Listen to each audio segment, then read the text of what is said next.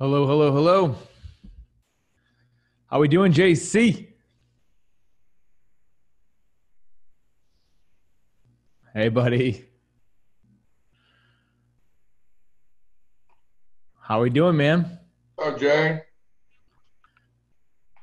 Hey, hey, I'm doing great. Look, we got Dale back. What's up, Dale? Good. Audio's good. Appreciate that. What's up, Jay? I'm gonna I'm getting my audio and everything all set up. Do it, man. Get your audio set up. What up, Matt? Matthew B was the first one here.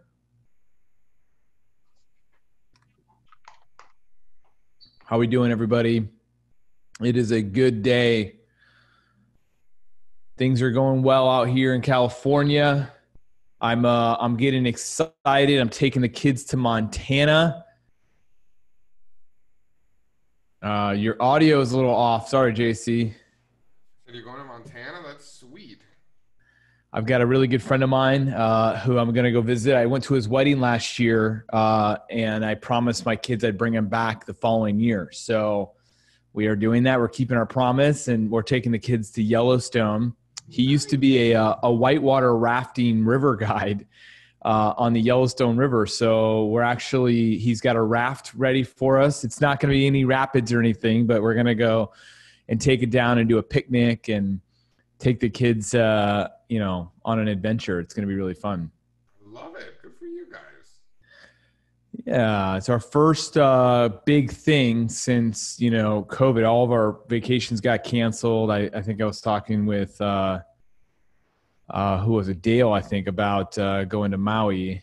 Um, so that got canceled. So so Montana's back on, and Yellowstone opened up on June fifteenth. So we can go to the park now and check it out, which is great.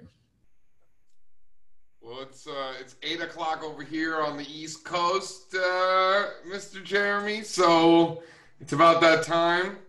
I gotta tell you, you want a, you want a nice life hack? Please. So there's a product, and it's called uh, it's the Rabbit Wine Aerator with Sediment uh, Strainer. So I, I opened up a 20 year old Burgundy. So Okay. the cork the cork's all wet, right? Yeah, right, right. It's gonna, yeah. So I've got one of those like oh no, uh, you know those cork those little wine things to get the old corks, and I am I'm terrible at it. So I destroyed the damn cork. I was already destroyed. I just finished the job, and I was able to use my new Rabbit aerator and strainer. Save the day. Save the day. Yay! That's that actually is worth every penny with a really good bottle of wine. I'm telling you. So okay, so it saved me once. It probably cost me like 12 bucks or something, something silly. So that one bottle saved. Now for the rest of my life, now it's just free. Now it's just like this extra thing that could come save the day. It's already paid for itself. You know what I'm saying? Like The man, power of rationalization, man. The power. It's now free, Jeremy. it's free. It's all free. Why would I throw it away? It's free. And we, at one time, we're gonna use it. My father is a is a kitchen aid junkie. He's certified. He, he goes to classes for it. He's got a group, uh, and he is just you know if there is a if there's a way to make eggs better uh, and quicker, he buys it. If there's a way to whisk eggs or you know what I mean? Like the guy, he can't help himself. He just can't help himself. Oh, look at this. This thing gets the crumbs off your table. You need this thing to get the crumbs off the table. And this one gets the bigger crumbs. This one gets the smaller crumbs. It's like, are you kidding me? Are you kidding me? I, That's how my my mother-in-law buys me all this stuff. So that's the issue. So like she gives me like this mushroom brush, and I laughed at her. I'm like, what am I gonna do with this freaking thing? Let me tell you something. I'm using this little mushroom brush like all the time to clean the mushrooms, and I was Yeah. doing making fun of it. Yeah, it is. Those are the best gifts. The best gifts are the ones that you think are completely like impractical or you know a tchotchke of some sort, and it turns out to be something you use all the time. Uh, so no joke, no no joke about that. Um, all right, well we have a lot of exciting things to talk about, and um, I know that I'm excited to hear what you've got cooking on your end. Um, See what you did there. I see what you did there. uh huh. You like that? Uh, first of all, where we left off was that you were heading off to speak um, at a really cool event and be a part of a really cool event last week. So, do you want to fill us in on what you were doing and uh, how it went? Yeah, you know, listen, I mean, I, I was very lucky for many years. I lived in New York City and I got to attend literally every single New York City chapter of the CMT so uh, meeting. So, I mean, I saw everybody and I got to meet a lot of people and then get to drink free booze that they give you there and like free snacks. And I'm like this 22 year old broke kid. So, like, that's fantastic. So, I get to learn technical analysis. You're going to give me food and you're going to give me booze and I don't even have to pay for it. It's like two hundred dollars in annual dues or something like that. I'm like, what's the catch? oh, all right, so I got to take some tests. All right, I'll do that. Fine. You know, um, so that was a long time ago, and it was great. And then since then, you know, obviously, I've been invited to speak at CMT chapters all over the world. You know, Hong Kong. Singapore, Taiwan, Philippines, Kuala Lumpur, all over Europe. You know, Dublin, London, Amsterdam, Athens, Paris and then, of course, in the United States and North America, you know, your usual suspects, you know, Chicago, San Francisco, LA, San Diego, Dallas, Austin, Houston, uh, Chicago, Vancouver, Toronto, you know, Boston, DC, Atlanta, like your, like your Orlando, right? So yeah. your standard areas. And I really haven't spoken uh, at a New York City chapter meeting since like 2000 and like 2012, 2013. So uh, I was invited back after all these years, and uh, it was a virtual uh, chapter meeting, uh, as you can imagine, for obvious reasons. Right, it right. fun. It's cool. Nice, man. And then you also heard the guy, um, the top, I think he's top CMT for Bank of America speak, right? So it was myself. So basically, what they did was they invited three of us. We each did our little uh, dog and pony, and then we had a discussion afterwards. One of them is my buddy Dan Russo, who's over at Chaikin Analytics, and then uh, Paul Ciana, who is the managing director of uh, and head of technical analysis of FICC, so fixed income commodities and currencies at Bank of America. So when he talks forex, uh, you listen. He was all about the Naki Saki. Have you ever heard of the Naki Saki? Never, ever, ever heard of the Naki Saki. I, there's something similar to that, but I can't repeat it here that I heard once in college. But so the Nakisaki is um, is the Norwegian krona versus the Swedish krone. Um, if I am, I am I saying that right for you? Uh, so it's not exactly a common cross for me, but he's all he's all junked up on the Nakisaki. Um, and and negative. Gotta be careful with the Nakisaki, man. You know what I mean? You start looking at that a couple times. It's more powerful than you think. Um, I gotta tell you, um, it sounds like a like a like a Japanese drink, like at a it does like at a sushi joint. Like you get you know you get your omakase, you get your nakisaki. You know what I mean? It really if, if if it doesn't exist as a drink, I think we should we should invent one. Some sake called nakisaki. It's uh, N O K. Here we go. N O K S E K. So you're looking at the Norwegian krone versus the Swedish krona. I mean, why would you look at? Okay, I'm interested. You, you that was a good open, right? They call that an open loop, close the loop. Why, why the heck do we care about that? Especially in the. Four.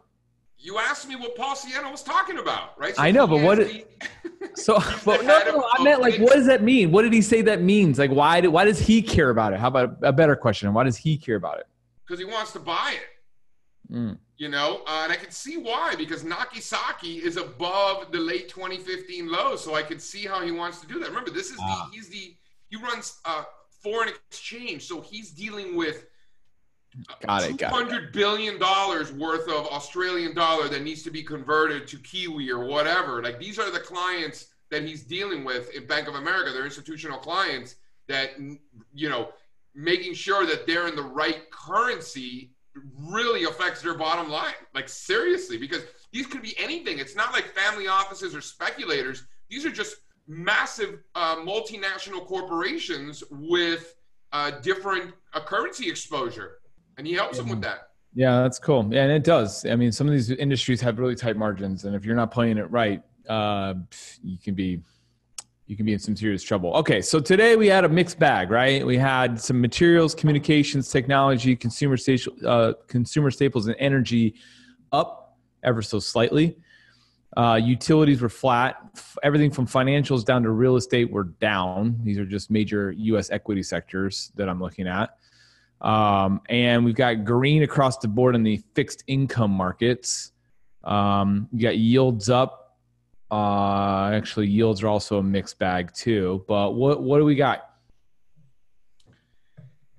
So on Monday evening was our monthly conference call uh, for uh, premium members. I'm not sure if you had a chance to watch it. Uh, if you haven't, I encourage you to because I think we make some pretty good points and come up with some good trade ideas. We've invited in Sean.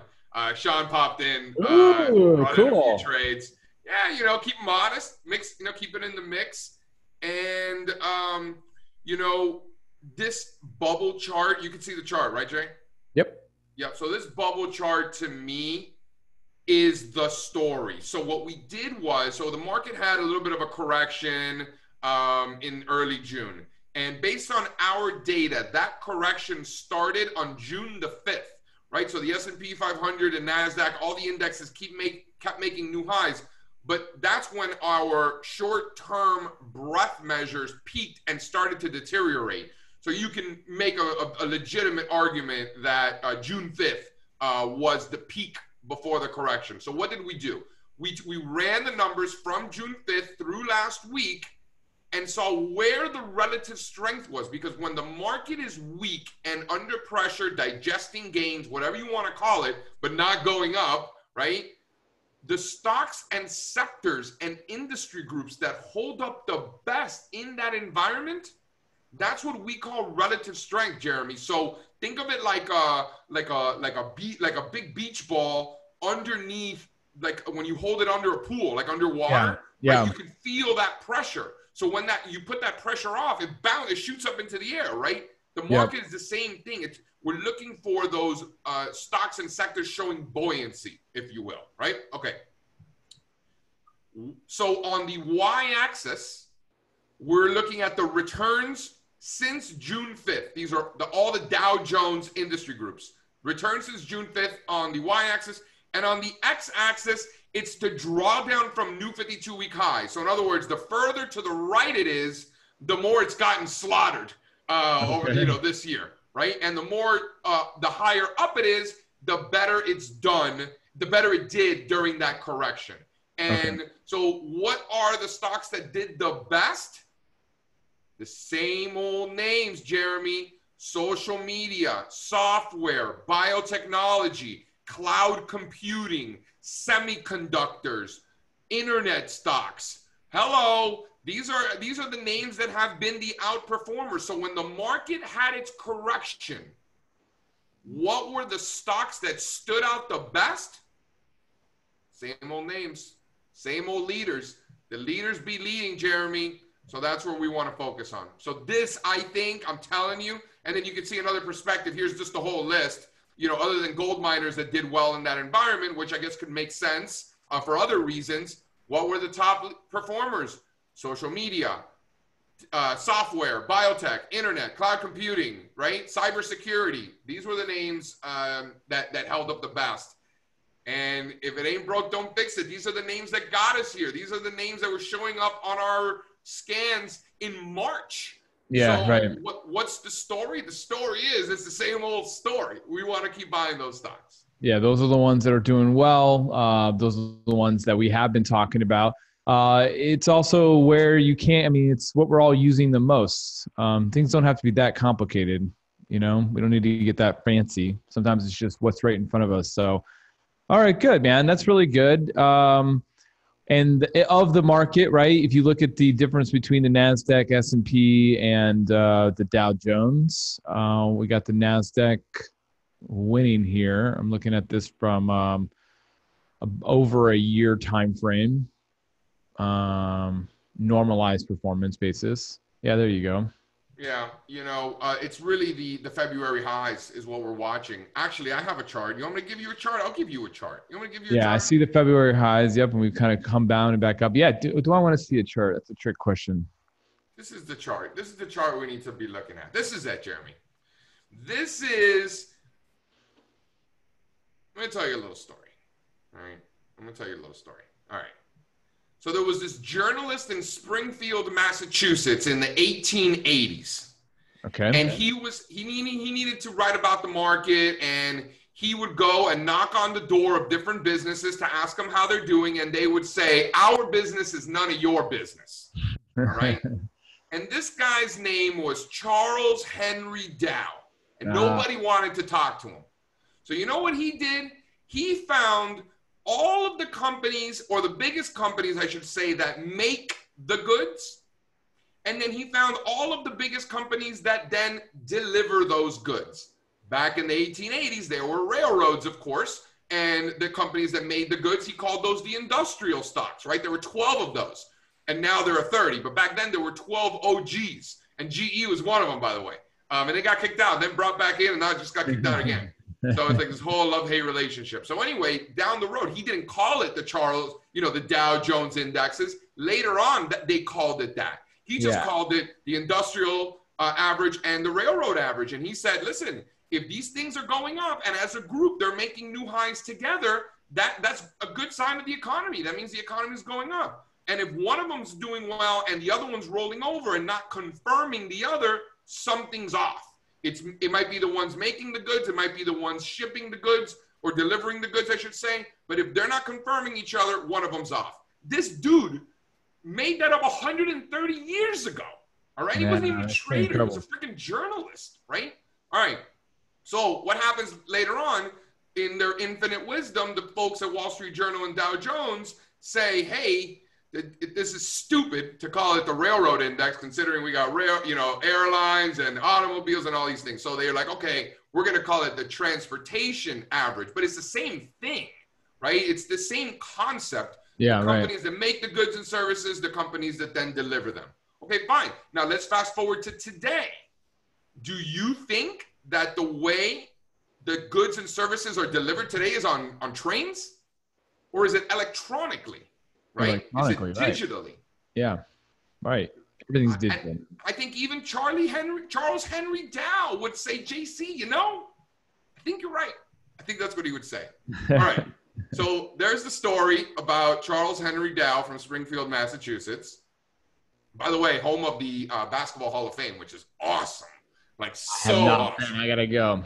You do, you do. Hey, Um, you? I'm. I'm. By the way, I'm so excited for July 31st and what the NBA decided to do with like you know, better right? than nothing, right? It's better than nothing, but it's, it could be cool. I wish they would have taken like a, you know a play out of the uh, NCAA and made like a you know like a finals where people were getting knocked off and their seeds and stuff. That would have been sweet. Well, that would change NBA forever, probably. It probably would, but why Yeah. not? I mean, why not? That would have been anyway. But uh, it's still we Why got not? Because they got to go game seven so that they can make all the money on all the the money, all the ratings and stuff like that. I You know know. how it is. You know how it is. All right. So listen, Jay. So I'm telling you the story, a 130 year old story for a good reason, is because I think uh, Charlie Dow would agree.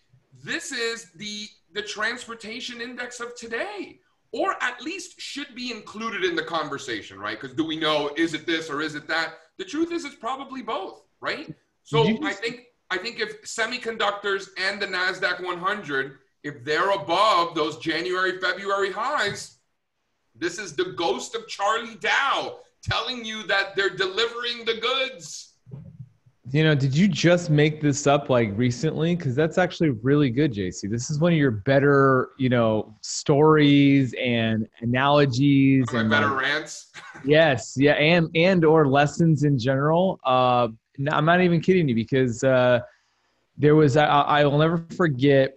Somebody did a, a very similar kind of a cool story. Um, uh, maybe this is like eight years ago, six years ago, and they were talking about uh, the new railroad across America, right? And um, back when the railroads were here, it, it created, it advented all these communities and cities we know of today and industries we know today because of the railroad system. And this was going to be the railroad across the Pacific. So it's the new railroad across the Pacific, and they're trying to draw this analogy about how uh, the railroad system just transformed America, the face of it as we know it. They did this in a certain way where they were talking about fiber optic cables. Yeah. And by running fiber optic cables across the Pacific and the Atlantic, um, how that was supposed to transform all these different businesses. that was a pretty darn good comparison. I mean, they built a really good story around what happened, and sure enough, that's exactly what did happen.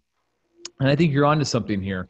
From a transportation basis, right? If you're looking at that sector and looking at businesses and the health of the overall economy, and now and what is else being shared? Information is the is the 2020 currency. I mean, that's what's yeah. like what it's the thing that we're making the most of, right?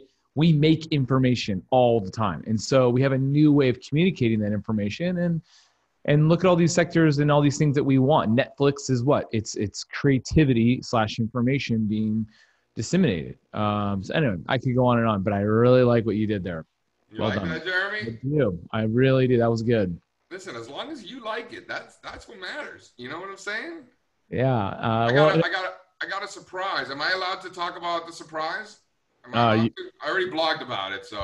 yes, you can. Yeah, I saw that. Cat's out of the bag. Yes, sir. Do it. All right. So I'm going to talk about it. All right, folks. So we incorporate a top-down approach through and through. For you know, we start. You're going to ask me about a stock. I'm going to start telling you about what bonds are doing and commodities are doing, and ultimately, I'm going to get to what your to answer your you know, whatever, right? We start yeah. by looking at all of the indexes around the world. If you, if this country has a stock market, that index is on our list. And in some cases, there's multiple indexes on our list from that country. So we look at every asset class, interest rates, commodities, forex markets, maybe not the Nakisaki like Paul Ciana is looking on a daily basis, but we're looking at all the major crosses, right? Yeah. Great. Then and only then do we come to the United States and look at the Nasdaq 100 and the S&P 500 and the Dow and the transports and the Russell small caps and the value line and we go down the whole list, New York Stock Exchange Composite, all of them. Then we'll look at these sectors and the industry groups, energy, financials, technology, healthcare, right? And then the sub-industry groups, regional banks, broker dealers, insurance within financials, right? In energy, you got oil services, explorers, producers, the refiners, different stocks, different industries within that sector. And then ultimately, we're going to look at the individual stocks and look for stocks with the best risk versus reward setup to take advantage of that particular thesis in that sector or industry group. So, in, in, if in our infinite wisdom, we decide we want to buy Microsoft, 95% of the reason why we're buying Microsoft has nothing to do with the chart of Microsoft, right? It has to do with the fact that we probably like large caps, we probably like US stocks. We probably like tech, right? And then Microsoft just happens to be a favorable risk reward to express that thesis. So that's our thought process. And in order to throw a wrench in that top down approach, in the past, we've looked at things like the IBD 50, uh, which is stocks showing momentum and relative strength, but also like earnings growth and stuff like that. I couldn't give a rat's ass how much money a company is making or losing. That's not my problem. So the IBD 50, while it is nice, you know, I think it limits because it's looking for companies with earnings growth. I don't care how much money a company is losing. You know, I want to buy a stock that I could sell higher, right? What a company's making doesn't really matter to me. So I don't love that about it. Um, so it's good, but not great. So what do we do?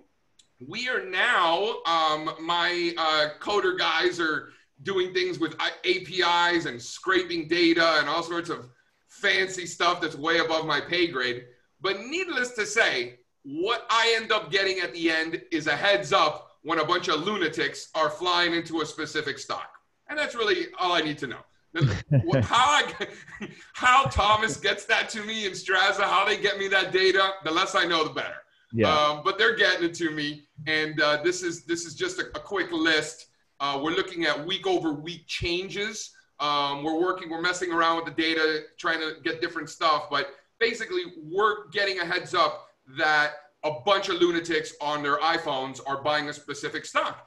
In a lot of cases, they're doing very well. You know, if you go down this list, these are names that we've been buying Tesla, Amazon, Apple, uh, uh, GE, definitely not GE. Uh, let's see, Microsoft, uh, Plug Power, Coca Cola.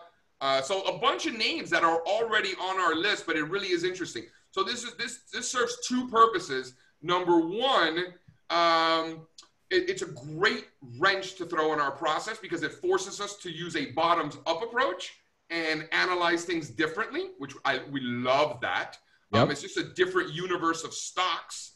Um, and not only can we bet with the crowd, right? Because listen, if you see a bubble, you better buy into it because there's a lot of money made in bubbles. Um, but we can also bet against them. So we're looking for longs and shorts. Um, it's just a great universe that we didn't have before. It might, you know, Charlie Dow didn't have Robinhood data 130 no. years Yeah, ago. not at all. But if he did, he'd definitely be doing something with it. And that's really cool that you're doing something with it as well. And yeah, there's some really interesting um, pieces of information that we can do it. I think another thing that's kind of a cool analogy I thought of when you're explaining that story is if you talk to a farmer uh, uh, about what he's going to farm. You say, "Hey, I've got this plot of land. I'd like to farm something. What should I farm?" Um, he's going to ask you a bunch of questions about where this farm is located, what type of region it is, what type of soil does it have. He's going to go into all of these different factors before he asks you any preferences about what do you like to eat. What do you, you know what I mean? Like, what are you into? Like somebody who lived in the Midwest before. Ah, yes, that's for sure. I did, and I lived on a farm actually, nevertheless. And so, uh, but this is it's a very good, I think, a really good analogy for trading and investing, right? So much of a lot of investors and traders will specifically go and ask and look at the headline stuff and say, "Oh, look at look at this company. They're they must be doing this," and then they want to go and invest. What I love so much about what you do with this top-down approach is the farmer's approach.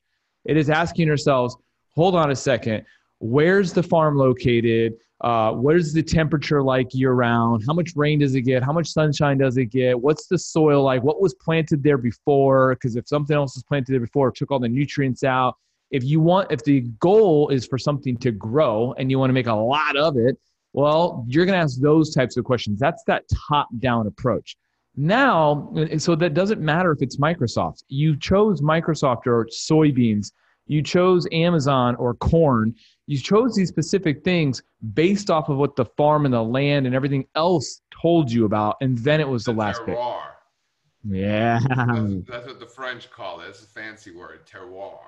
Terroir. Ah, I like it. That's a that's a great word uh, to describe all that stuff. And so that's that's an interesting perspective. I like it as well. And so again, doing this top down approach and getting more of this data um, a farm the more data the farmer has about your farm the better information that he can give you on what crops are most likely going to grow and thrive so it's something else that you can consider as well which is really cool um, or grape wines yes jb is saying or grape wine for farmers i like that guy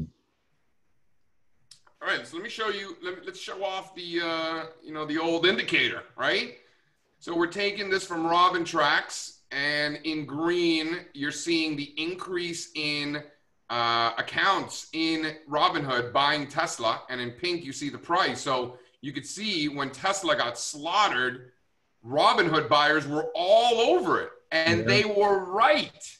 So when yeah. you talk about how they're the dumb money or the, you know, the small investor and the institutions are smarter, let me tell you something. I'm talking with these institutions on a daily basis. and there's some really big guys struggling hard. And as you can see with this data, as Tesla was declining, they were buying more of it. They nailed it. So um, I like this. If we're above 917, I like Tesla long. Um, it could be like this. It could be a failed move. Um, I think it's like this. Uh, so uh, I like Tesla long if we're above uh, 917, and I think we go to 267. So we are uh, taking the Robinhood data and we're using it as a as an idea generator. And um, you know, we come up with this every week. We're going to put out a note to our clients, uh, just a nice little value add for premium members of All Star Charts uh, that started this week. So we're pretty stoked about it. That's amazing. And this is such a genius thing because it's such a huge popular trading app. Um, they're making headlines uh, good and that's bad. Howard said, he's like, oh, that's genius. Yeah, it is a genius idea. It's he's, a, he's, an angel investor in Robinhood. So anything that I'm doing that pumps up Robinhood, he's like, yeah, JC. Yeah, you know, it's it's genius. There's a lot of well, it's it's genius for a lot of different reasons. There's a lot of people who are um, uh, who use that platform. It's a great entry level platform. So uh, yeah, I like it. Um, Okay, so you also put out a trade signal last week about I'd like to see this. This is uh, turning out to be pretty well. Somebody has already commented and said way to go. So these are your clients telling you way to go on Peloton, P T O N. Yeah, I mean, listen, it's uh, it's a it's a clean chart. Um, I love I love a good clean chart. I feel like there there there's not because of you know the heart attack that the market had this year clean charts are uh, hard to come by, but uh, I'll show you exactly what's going on. So this is the um, this is the Peloton. Uh, we like it long if we're above 49. Uh, it's up now towards 51. Um, uh, I can't see your chart, buddy. Oh, I'm sorry. Sorry about mm. that.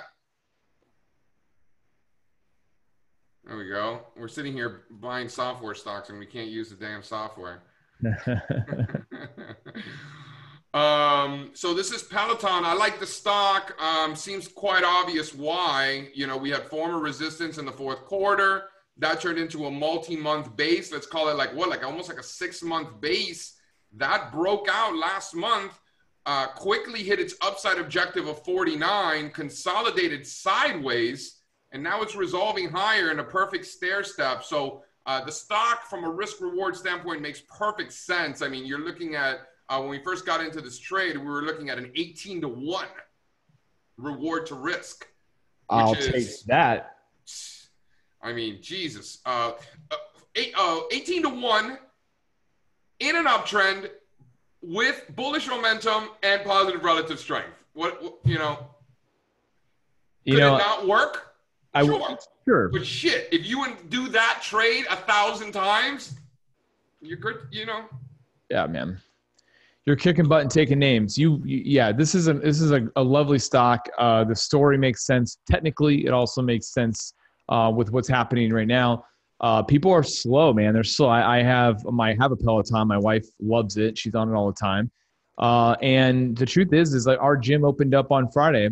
Our the gym I love to go to uh, and I was so, I mean, I, two weeks ago, three weeks ago, JC, I was like, oh my gosh, I need this gym to open back up. I want to open back up. And now it's open back up and I haven't gone. And I'm like, eh, you know what I mean? I, uh, it's just one of those things where, and we, we, we invested a little bit of money into our home gym. And, and so, you know, I think there's a lot of people that are kind of in that boat and there, a lot of people kind of pulled the trigger and they like it. And so they're telling their friends about it. So, uh, that's that's a one where it just rationally makes sense with the environment that we're in uh, we we don't make our investment decisions that way at all. Uh, it's the technical analysis story that really seals the deal. So an 18 to one risk reward ratio. Um, I have that up here on my chart or on my uh, my screen as well. So then hold on, and let me tell you uh, what Sean Sean likes. Uh, Sean likes the October 60 strikes. Okay. October 60 strike calls for just under six bucks. He likes it because the most we could lose is the debit we pay for those calls. So the most we could lose is those six bucks. He says that he considered buying the 55.75 bull call spread for about the same price, but then he thought it would be better to leave the upside open ended because you never know in this market. So rather than being a little bit more conservative with the upside and buying the bull call spread, uh, he just said, let's just go in naked, buy the calls, and now we have unlimited upside potential. Well, going uh, back to your beach ball analogy, that's what this wide six month base looks like, right? So when this ball is being held underneath the water, what does it want to do when it releases? It wants to jump and shoot. So by having a outright uh, long call option, uh, you get the maximum upside potential. There's unlimited amount of money toward the upside um, going out of the money means that you're paying less, which means that your risk is lower, but your upside potential is higher. And max that with an 18 to 1 risk reward ratio. I think that's a great call. Doing just no pun intended. Doing a right outright call. I think if we had a, a little bit of a, a worse uh, risk reward ratio, uh, maybe not such of a big base, uh, doing something like a bull call spread and taking off the short call I think, if, I think if it wasn't such a good risk reward, like let's say if it was a worse risk reward ratio, I'd be more inclined to put the options trade on.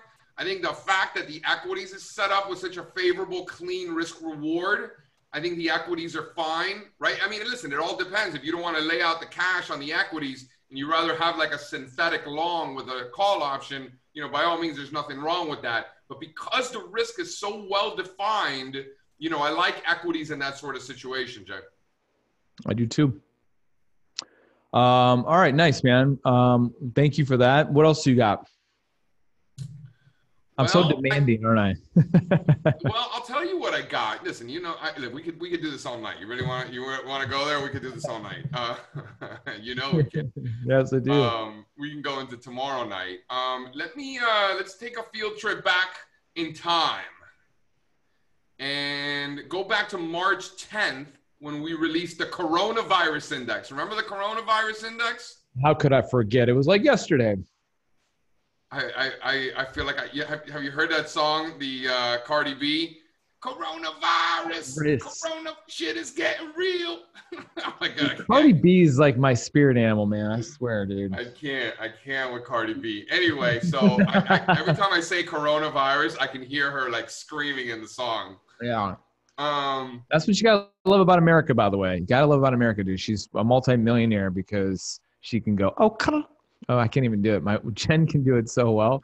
She did okay, you know. She like rolls the oh cart. Oh, I don't know. I'm I'm butchering it. All right, help me, save me. I'm drowning over here, JC. No, you're on your own, bro. so so we we came up with this coronavirus index, which is basically, uh, I mean, look at the names. These were the list of stocks with the highest. Uh, momentum readings, uh, the highest relative strength readings, um, and this was an equally weighted index that we put together. This was on March the 10th. Little did we know that the market would bottom two days later. We obviously didn't know that, but we did know that when it did bottom, these were the stocks that we wanted to own, right? Um, so we started buying them already because we figured we were close. Uh, and then literally the market bottomed two days later. The S&P and the Dow and them bottomed, I think like the 19th or the 23rd or something like that. Um, but the list of new lows peaked on March the 12th. So that was the low. Uh, and then look at the names. I mean, you're gonna laugh like Clorox. Yeah. Uh, you know, Activision, T Doc has been a home run. Baba, DocuSign, Amazon, Netflix, uh, Okta's, uh, Zoom, which we're using right now, has been a monster. Regeneron. I mean, this was on March the 10th. GLD. Um, yep. So this isn't like to take a victory lap or anything like that. Like there's no end zone dances, uh, you know, in, in our office. That's not what this is. The reason I bring this up is kind of the same reason that I brought up that bubble chart uh, before. Like, it's the same old names. These things have been working uh, for months since March. They still look good. So, like when you look at Dollar General, this looks like a breakout is coming. We want to be buyers on a breakout above 190. Look at Teladoc. If we take out 189, we want to be buyers. I think we got another 100 points of upside. Clorox breaking out. If we're above 210, we want to be long. I think we go to 244. Activision, the the the video game stocks, they're all breaking out. Um, the coronavirus index, shit is getting real. it's getting real. Just keep on stacking them, man. Keep on we stacking. Show the music video so these people don't think that we're crazy. They're like, "What are these fools talking about?" All right, so look it up.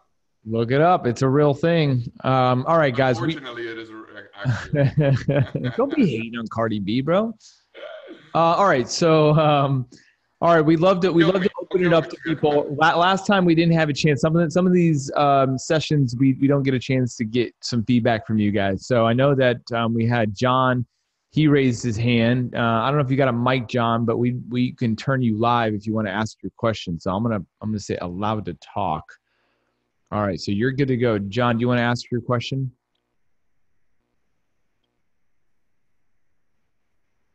Hmm.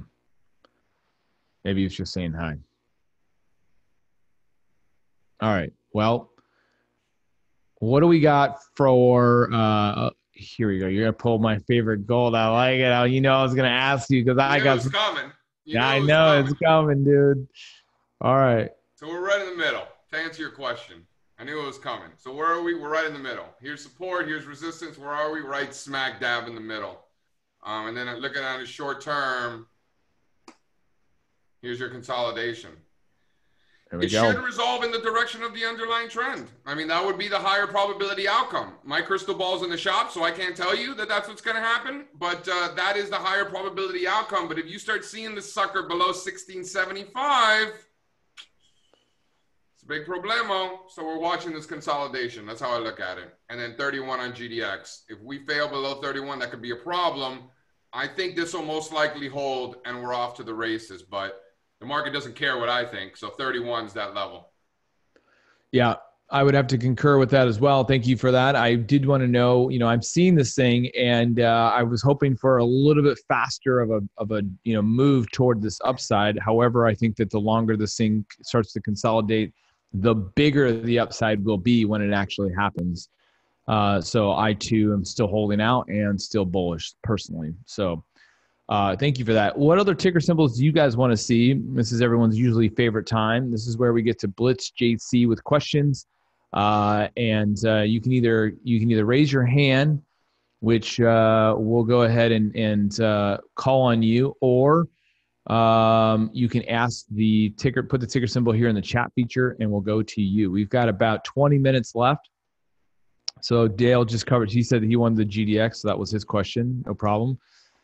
Dale and I are are uh, on the same page there. Thanks so much for making it again, by the way, Dale. Appreciate it. Can I just show you a dope chart, like super dope chart? Yeah. Look at this bad boy. So this is the Amazon of Latin America. So there's an Argentinian company named uh, Mercado Libre. Mercado. What does it say? What does that mean? Mercado Libre, that means free market. Got but it. it's an Argentinian stock, so you know, irony, paradox. Um, anyway, um, Meli, M E L I, Mercado Libre. By the way, I got no beef with Argentina. Uh, some of my favorite wine in the world. I love churrasco. Um, you know, don't shoot uh, the messenger, but y'all's got some issues down Yeah, there. It's it uh, it's not. It's not pretty. it's it's spectacularly awesome and spectacularly disastrous all at the same time. And uh, I've actually never been. I'm dying to go. Um, maybe the most beautiful women in the world, Argentinian women. They have they're like kind of like Italian, um, Italian-ish, right? Yeah. Yeah, I'd say so. It kind of. Yeah. So this is my stock. Uh, 830. That's the level. If we're above 830, I think we can own this all day long, and uh, I think we have 500 points of upside. My calculations are correct. That's 60-ish percent. It's not nothing. Ah, I like it, dude. What's your call? Where do you think this is gonna go? 1337. Ooh, ooh. All right, there you go. I like it. You're. I like it. M E L I. right, we- Mercado Libre. All right, we got uh we got C R W D. I'll pull this up. C R W D. Oh All yeah, right. CrowdStrike. CrowdStrike. Yeah, we just um, we just put this out uh, as an idea. Actually, um, I will. Where do I have this? Yeah, we just pull. We just. Uh, I mean, look. I mean, here I'll pull up a daily chart.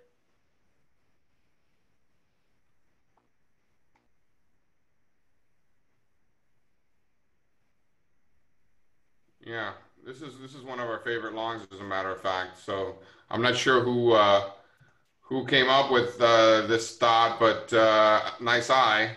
Um, maybe you've actually been reading our research. I don't know. he's definitely a good client. Uh, he's here a, a lot. Thank you so much for uh, asking the question, JB.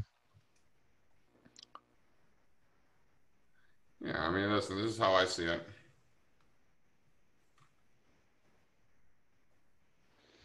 JB always shares some pretty interesting stuff uh, with us in the panel. Baby came by to say what's up when we were in uh, in Newport. He brought me some wine. Yeah, yeah. You, you, you just missed him. Oh, did I? Yep. he swung by because he lives down there. I was like, hey, we're around. Oh, he came to the studio. Yeah. Oh, he did. Oh my gosh. Ah. yeah Um, JB, JB's a homie. nice. Yeah, he was there behind the scenes. Ah, I like it. Just hanging out, watching that. Yeah. And these, these people haven't even seen that yet. That's gonna be so good when we get that ready. Yeah, I'm pretty stoked. So um, This is CrowdStrike. Um, you know, it's pretty obvious. We've got a little consolidation below overhead supply from last year. Um, if we break out above that 102, 103 level, we got another 40 something points of upside. Um, so I don't know when it's going to break out. It might break out tomorrow. Um, it could break out uh, a month from now. I don't know. Um, the longer it takes, probably the better. Eh, I shouldn't say that. Not the, we'll see how long it takes, but above 103, that's where we feel comfortable owning it. Uh, until then, we'll be patient, as patient as we have to be. Uh, but when it gets going, we're gonna be we're gonna be involved. Uh, but yeah, uh, JB, good call on that. Um, you obviously saw it already, so you knew what I was gonna say. Thanks for the alley oop. Yeah, nice. What do they do? What is what does CrowdStrike do? Out of curiosity. I uh, haven't the foggiest idea. I'm pretty sure it's a cloud uh, cloud stock. Okay, information technology is the sector. Yeah, precisely. Yeah, big data. yeah. Okay. Well, isn't that isn't that a coincidence, right? Isn't that a coincidence? We're just talking about you know your top-down approach and how these different sectors are. You know what I mean? And there's Yeah. yet another the, one. The funny part is, is that it's not coincidence. That's why we like this damn stock because it's not a freaking energy stock. Yeah, exactly. Yeah, exactly. Talk about a stock we probably don't like, but uh, somebody wanted to talk about airlines. Uh, I'd like to know that too. Uh, it's like an interesting question. So, Joseph, thanks so much for asking the question. UAL is the exact ticker symbol. United Continental Holdings. Yeah, I mean, listen, what do you want me to say? I like the ones that are on the upper left of that uh, chart that I showed you on the bubble chart, and this just ain't that. Like, look. Like, is this the crap that you want to buy? Like, I'm showing you charts breaking out to all-time highs, and like, you want to buy this disaster? You know, UAL looks exactly like the trend. You know, this is uh, airlines, and this is UAL, so basically they look exactly the same you know, listen, if you want to be, if you want to get caught up in this mess and this chop fest and this underperformance land, you know, be my guest. You know, for me, man, I could show you a thousand charts that look better than this. Is is is kind of like how I look at it. You know, Well, I let's mean? break let's break this down. This is a good this is a good thing about your asymmetric risk reward ratio trade stuff that we're talking about. So look, we're not bashing it, and and there's the Fed comes in, they're going to bail them out, you know, and there's like it's going to come back. The coronavirus is lifting. This is a lot of headline, fundamental, and instinct. That's like, well, this has got to go up, right? There's got this has got to be something that's there. Here's the difference, right? Is that the markets can remain illogical far longer than you or I can remain solvent. And so, what, what we're saying here is that sure, this thing could go right back up, finish the trend, and then it's back on JC's radar because it's break, you know, that whole sector is breaking out and he's all excited about it. Did he miss the bottom, the low, low, and all the junk that's down there? He misses that stuff all the time. There's stocks and, and sectors that happen all the time. But more often than not, way, way more often than not, these chop fests, what he calls them, these markets that are underperforming, that are go up and down, volatile, and usually you're just staying who low. Needs, who needs the headache? Yeah. And because here's the thing, folks, if you haven't been trading long enough, okay, this is, I worked at a hedge fund for seven years. I had a financial advisory firm for three years. For 10 years, I've been helping people with this stuff. And here's the thing that people realize, don't realize, JC, is that they see an opportunity like that, so they go buy it. They go throw $10,000 in there. And you know what happens in five years? Nothing. Nothing happens in five years. Nothing at all. They went on a roller coaster ride, and one day they look at it. One month they're super stoked that they owned it. The other month they're like not sure if they wanted to own it. The other month they wish they never would have owned it.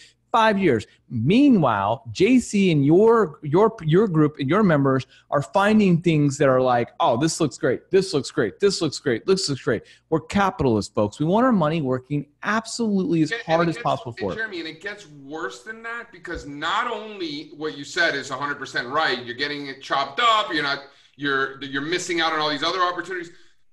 The big thing is that because you're in this messy trade that's just causing aggravation, your attention is being focused on something that's not paying you. And that attention, you're going to miss the giant elephant walking right past you, the DocuSign or the Zoom, because you've been busy bottom fishing these freaking Carnival Cruise Lines or Boeing or whatever, you know, got crushed. Like, you're missing breakouts to new all time highs because you're focused on Spanish debt levels, and you're, you know, what the hell does that have to do with Regeneron? you know what I'm saying? Like, so I think it's important to put things in perspective um, and not be disillusioned uh, by, you know, or, or distracted by focusing on stuff that's not working. Like, yeah, if you live in Texas and you've been investing in energy, of course you think the stock market sucks. But if you're in Silicon Valley and you've been buying all these software stocks, you're like, whoa, these are great. yeah, uh, Jeff, you said it really well. He says opportunity cost. Yeah, 100%. That's really at the end of the day, it's opportunity cost. And there is a cost. And what we mean by that, there's a mental fatigue, there's an emotional fatigue. Um, you, you know what I mean? Like you just get all uninterested. Yeah, all of that uh, and you start making bad decisions. So it's like, why not? Why try? Why why make your money work so freaking hard? Why make your your emotional mental state work so hard when there's, like you said, the elephant walking by that you can just hop on and um, and off you go. So um, sorry, I just wanted to take a moment to talk about that, uh, Joseph. So I love that you asked that question. Gives us a really good opportunity to discuss that. We don't want to just say, they "Oh, can, it's." They can go up, but my question is, where are you wrong on that? Like it's such a mess. Like, how do we identify a level where be like, oh, we're wrong if it breaks below that? Like, it's such a mess that it's just hard to quantify uh, and select where the risk is. What's the reward? It just looks like a mess. That's yeah. how I look at it. Yeah, exactly. Um, I agree, and it's like that indecisiveness isn't just a place we want to be. That that unknown, we don't want to be there. We want to be in the places where we kind of know. You know what I mean? Where we feel like this is probably the most likely thing that's going to happen. We like we like feeling that way. Um, okay, great. Um, we got uh, Jeff is asking about. Uh, are you talking about the uh, the corporate bond yields? You are. So what he's saying. Oh no, no, talking, talking about, realty. CoreSite Realty. Yeah, Realty. Okay. Yeah, it's a great chart. Um, you know, definitely been on our radar for a while, looking for that breakout. Still haven't gotten it, um, but I do. You know, my bet is it's coming here. Let me show you guys what I'm looking at. Yeah, I mean, listen, these are. Is this um? Is this one of the uh? Uh Is this the no? It's office space. Um, because what's interesting is that these REITs, um, the the data centers stuff, the towers and data center REITs, like those, these things have been ridiculous because basically it's a software play, you know, technology play in real estate, if you will. Those have been home runs. This isn't that. Um, but uh, I, I mean, what's there not to like here? Look at that consolidation. You see that, Jeremy? Yeah, I like it. What is that? We're going on three it's an upward, years. Yeah, three years consolidation is a big fat base with an upward trend before, which means the likelihood of an upward trend is there. Continuation. You know what I'm saying? So like this is this is how I see that, you know? Right? That's how I see that. And then ultimately, you know, we break out. Right? And that we no. break out from this base. You know, what what's it gonna take? You know, realistically, 125. We get above 125. That should do it. That'll get us up there. Yeah. So this is one of those data. Comp- this is basically a tech play. Um, it, this one is not a tech play. This um, one is. I like like they're in this cloud computing, though. Isn't this what this is? Like CoreSite provides access to Oracle Cloud. Oh yeah, you're absolutely right. This is one of those. Yeah, yeah, yeah. no okay, wonder it looks so good. Yeah, I was gonna say this is one. I, am I didn't. I've never even heard of this this company. Yeah, yeah, yeah you're right. So I'm, I'm looking at the. I'm looking. I'm I'm doing future research. I'm, I'm, not future. I'm doing deeper research as we speak on the fly here about what this company does. So data you, centers and cell towers. That's what this is. Yeah. Yes, yes, and that's what you were saying that you like. And anyway, I was like, oh, and this is exactly what that is. Good, fine. I like that. Yeah. Uh, thank you for that. That was a good one. Um, that's a good. That's a fun one to look at. I'm actually going to tag that and put that one on my radar. Um, we've got Fran. Hey, Fran, nice to see you. Thanks for so much for coming. Um, he is looking at uh, he or she uh, is looking at ABBV. Um, thanks so much for for asking ABBV. Let's take a look. BV. Um, okay, healthcare. Yeah, drug manufacturers. So I've got a friend of mine. Uh, I, I'm really big into mountain biking, and I have a friend of mine. He's 56 years old.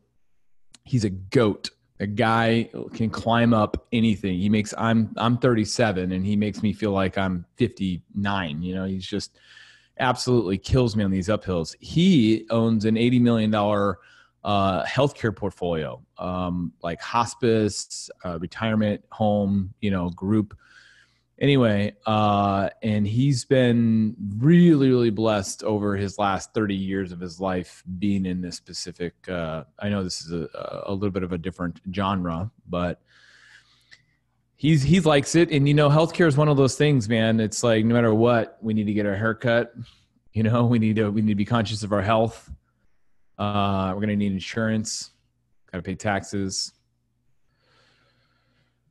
so, uh, what do you think? You pulling this thing up? So for me, I, would like to, you know, it's hard for me not to point out this polarity, you know, this former resistance in 2014, 2015, that we got the breakout in 2017, and then yep. this turned into support, right? All that resistance turned into support. So, like, clean as could be. Um, notice how this consolidation resolved down uh, last year uh, so that where that resolved, that's been trouble. So I think that if we can start breaking out above, let's call it 95. If we're holding above 95, I think we could be long with a target up near 125. Yeah, I really do. Yeah, I like this as well. This is another good find um, we we're all about educating and teaching. So the point of us asking you guys giving us these these uh, different ticker symbols here is that hopefully you are hearing how JC breaks down a chart right in front of your eyes. And we also like the idea of having there be stocks and ticker symbols that uh, mm-hmm. JC's unprepared for, right? Maybe never even heard of the particular company. And uh, the reason why I like that is because he's going to that that gives him like the the most honest way of analyzing something. And uh, we should create the jc index right? We should like you know start charting out all the different things that you are saying and, and seeing how how those go. But uh, more often than not you're right. And when you're really right you're you kill it. And a lot of people ask you how do you do it jc how can i get better at it um, if my team can drop the link, what you decided to do, which is also some really fun news, is that you decided to give away a, uh, the first. If you haven't taken the course, it's amazing. But we decided to give away the first um, bit of this course. And so, Hannah uh, or Lauren, if you guys are here, can you guys drop this link?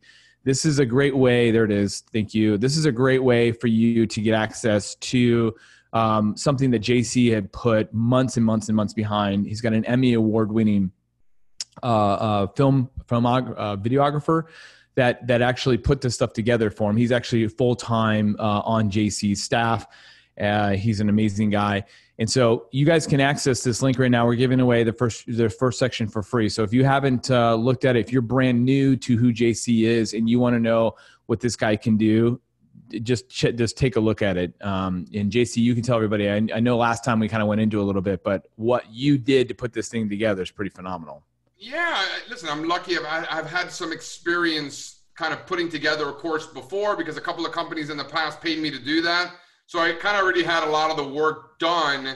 Um, and you know, in all my contracts, I always had the liberty to do whatever I wanted. And we have a great, like you said, Giancarlo and the team, multi-time Emmy award winners. They just won another Emmy uh, two Saturdays ago, which is ridiculous. So I'm super happy so for them. super stoked. Giancarlo just dropped a jazz album. Like, listen, the guys on our team are, you know, they are, uh, they're they're serious in what they they're do. They're talented. So talented. Yeah, they're um, talented. Giancarlo is definitely up there, and he tells me he's like, he's like, JC, I'm going to sign the contract, but like. It needs to be in there that I can have my artistic freedom and I can keep producing my jazz albums. I'm like, dude, produce as many jazz albums as you want. Absolutely. We should get him some. We should have him make some custom music overlays for some of the transitions. He does. We use his. Oh, he's all. Is this his music? No yeah, way! I did man. not know that. Oh, that's yeah, even better. Extra benefits. We don't have to pay for the music. He just makes. Oh, it. that is even. That actually makes me really happy, dude. That makes me happy. Yeah, We should because the guy's really talented. Well, nevertheless, it's all about making money, and to make money, you got to have some things in between your ears, um, and you got to have that knowledge. And there's there's two things. There's two things that you need. You need knowledge and experience, right? Um, we can't give you the experience. We wish we could just bottle up all the experience that JC has and just give that to you. Uh, but we can give you the knowledge, and you can leverage JC's experience by becoming a, a premium member. Um, there's a lot of people who are here today who are your premium members. Uh, and these guys can tell you firsthand how great JC is, and you guys often do. So, for those of you who are, we thank you so much for all the support for JC. I know that he loves it. Um, so we have a few minutes. We can do one more. Your your choice, JC. You can look at it here. They got a couple of um, people put some some in there. Do you want to take a take a stab at one more chart? How about how about more of a concept, more of an idea, Okay. right? Because technical analysis, like everybody thinks it's about charts and the charts and the charts and the charts, and yes, technical analysis charts are part of that, right? Because we're analyzing data, but forget the charts for a second and maybe because remember by being technicians we're analyzing the behavior of the market and therefore market participants. So if we're going to be doing that we should analyze our own behavior. And it's easy for us to say here and be like yeah jeremy the stocks that are doing well they keep doing well. We need to keep buying them but let's go back a couple of months and we were looking for some short opportunities. And guess what those short opportunities got steamrolled immediately. All right. So that in and of itself is information, right? We are observing what we are doing, and our long positions are working spectacularly well, and our short positions are sucking it up. That's information. And that's information we had months ago that we then took and said, man, our shorts are really stinking up the joint and our longs look great. Like, hello, we should keep doing the stuff that's working and stop doing the stuff that ain't working. And now we're like, wow, these longs have really worked. And guess what? We stopped trying to short stocks this whole time. So it's less about the charts and maybe more observing, maybe not more, but in addition to the charts, observing what's happening around you. Are yeah. you listening to the message of the market or are you just being stubborn because your Spanish debt you know levels are not to your liking so you're shorting stocks because of it or whatever? You know like what, what's what's what's your what's your p&l looking like when you're making these decisions? Money is going where it's treated best and that's how institutions think and i think that we all investors should think like that as well my friend greg roulette said uh, this to me and, I, and i've never forgot it he goes jeremy make sure in life and in business and in investing that your mission is above your ego. So I never forgot that. Is your mission above your ego? As investors and traders, our mission is to make money. Don't let your ego of what you think must happen, or you like this, or you like that, or you don't like being wrong. You're embarrassed to be wrong that you bought this company that you thought was going to go up and it didn't go up. Don't let that harm your the ego harm your profits because that's what we're here for everybody. You're here and spending this hour with us every single week. Jc and i are here talking about it. We're passionate about it. We try to make it interesting. We try to make it fun but do not let the jokes uh, by us by one second uh, think that we're not dead serious about our mission of making money that's the only freaking point of this whole thing so, jeremy think about it think about this you know you go bottom of the ninth, your team's down a couple of runs, you come out with two outs, man on second and third, you drop a bomb, walk off home run, you get interviewed by the journalist afterwards. How does it feel? All that stuff. What are they asking about? They're asking about the home run. They're asking about how it feels to win the game. They're not asking about how you struck out in the yeah. third inning, right? Yeah. Swinging at really bad pitches. Everyone forgot about that. Yeah. Everyone forgot because you hit the game winning home run. That's and that's right. all that matters, right? No, they're not asking you about the strikeout that, that you embarrassed that's the hell out of yourself because you look like crap swinging at bad pitches, swinging at curveballs in the dirt. You know what I'm saying? Like, nobody's going to bring that up. That so, is a great point. You have to embrace the losses, it's part of it. Um, but you're going to, you know, as long as you're consistent, you're going to win at the end of the day. And I know there's not – like a pretty journalist asking you about your game winning home run at the end of every trading day. Uh, but let's say there was, are they going to ask you about that trade where you crushed it, or are they going to ask you where you took that little small loss? No big deal. They're going to ask you about the good trade. That is an that's great, man. You brought it today, dude. You got some good stuff. I don't. That was really good. I liked it. I took some notes. Thank you guys for all who participated. I actually got a couple more stocks. I'm going to do a deeper dive on. JC, as always, you're amazing, my friend. Thank you so much for your time. Have a wonderful evening. Give your wife uh, a big hi and hello for me, and um, I'll see I'll see you guys next week. Thank you so much. Bye, everyone.